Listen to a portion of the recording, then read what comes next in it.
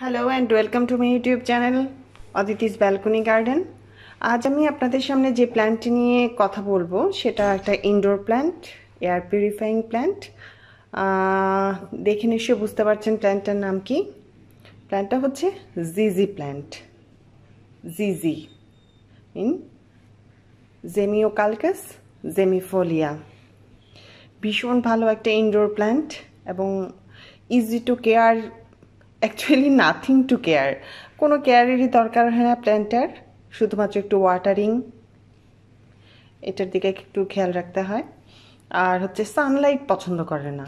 সানলাইটে দিলেই সানলাইট লাগলেই পাতাগুলো এই যে ব্রাউন হতে শুরু করে, আমারটা একটুখানি ছিল, কিছুদিন একটু রোদের আলোয় ছিল, এই যে ব্রাউন ব্রাউন কিছুটা হয়ে আসছে, এই যে এখানেও একটা পাতার ব্রাউন হয়ে গিয়েছে।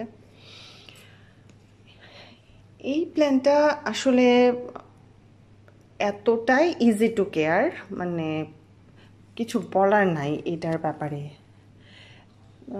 আমি যখন প্ল্যানটা কিনি শুধুমাত্র অল্প কিছু স্টিম ছিল, দু মাস আগে কিনেছি, বেশি দিন হয়নি।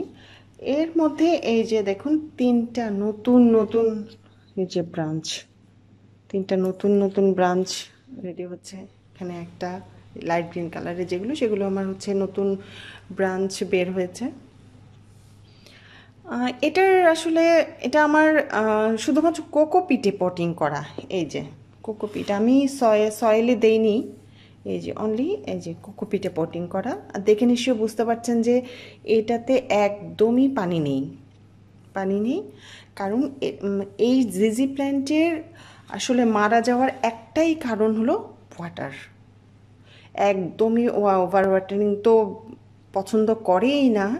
ইনফ্যাক্ট যদি রেগুলার বেসিসেও এটাতে আসলে ওয়াটারিং করা হয়, এই প্ল্যান্টটাকে কিন্তু সারভাইভ করানো যায় না। প্ল্যান্টটা মারা যেতে পারে। মানে একটাই রিজন থাকে জিজি প্ল্যান্টের মারা যাওয়া, সেটা হচ্ছে ওভার ওয়াটারিং আর কিছু না। যদি এখানে পটে পানিটা জমে থাকে জিজি প্ল্যান্ট আসলে সারভাইভ করবে না, এই পাতাগুলো ব্রাউন হতে শুরু করবে, এই স্টিমটা পচতে শুরু করবে, আসলে জিজি প্ল্যান্টটা গ্রো হয় রাইজোম থেকে, মাঠ, এই যে জিজি প্ল্যান্টের নিচে, এই যে আমি আপনাদেরকে যতটা পারি দেখাই, এই যে রাইজোম দেখতে পাচ্ছেন? এই যে রাইজোম আছে। এই রাইজোম থেকে মেনলি জিজি প্ল্যান্টটা গ্রো করে। তো পানি যখন বেশি হয়ে যায় রাইজোমটা পচতে শুরু করে, আর তখনই জিজি প্ল্যানটা মারা যায়। এছাড়া আসলে এটা মানে ভেরি হার্ড টু কিল একটা প্ল্যান্ট এটাকে মারা সম্ভবই না। যদি আপনি এই জিনিসটা শুধুমাত্র খেয়াল রাখেন। আর হচ্ছে সানলাইটের ব্যাপার যেটা হচ্ছে, একদমই সানলাইট লাগানো যাবে না। সূর্যের আলো এটাতে পড়লেই পাতা ব্রাউন হতে শুরু করবে। আমার কয়েকদিন একটু ব্যালকনিতে ছিল, তাতেই এই যে পাতাটা, এই পাতাটা ব্রাউন হচ্ছে। ওইদিকে নতুন নতুন যে স্টিম বেরোয়েছে, ওখানের পাতাটা ব্রাউন হতে শুরু করছে। আমি তারপরে এটা ইনডোরে এনে রেখেছি।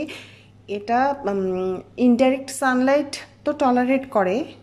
ইনফ্যাক্ট মানে এক্সট্রিমলি লো লাইট কন্ডিশনেও এটা ভালো থাকবে, এটার গ্রোথ হবে এভরিথিং কোনো প্রবলেম নাই এই প্ল্যান্টার তো আমি যখন এটাকে নিয়ে আসি, এটা একদম ছোট একটা পটে ছিল। পরে আমি যখন প্ল্যান্টটা বের করি রুটগুলো পুরো বাউন্ড অবস্থায় ছিল রুটগুলোকে ছেড়ে দেই, তখন একটা ছোট্ট একটা রাইজোম আলাদা হয়ে যায়। এই যে এইরকম এই ছোট প্ল্যান্টটা ছোট একটা পটের মধ্যে এটা পটিং করা ছিল। এটাও কোকোপিটে ছিল। এই ছোট রাইজমটা আমি এই পটে আবার লাগিয়ে দিয়েছি। লাগিয়ে দেওয়ার পরে এখন দেখুন আমার এইখান থেকেও নতুন নতুন পাতা বেরিয়েছে। এটার প্রোপোগেশনের আরেকটা মেথড হচ্ছে আপনি যদি শুধুমাত্র একটা লিফ অনলি একটা লিফ আপনি দিয়ে রাখেন, মাটিতে দিয়ে রাখেন, এটা থেকে আস্তে আস্তে রাইজম হবে, তারপর শিকড় হবে, আপনার আরেকটা প্ল্যান্ট রেডি হয়ে যাবে। এছাড়াও আরেকটা জিনিস হচ্ছে, সেটা হচ্ছে স্টিম কাটিং স্টিম কাটিং থেকেও জিজিটা প্রোপোগেট করা যায়।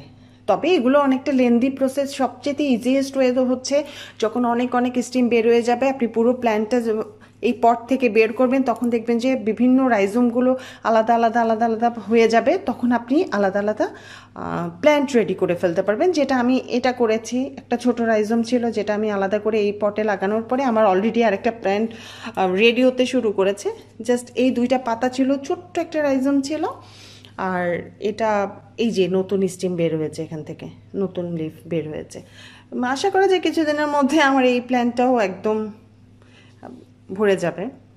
হয়তো কিছুদিন সময় লাগবে।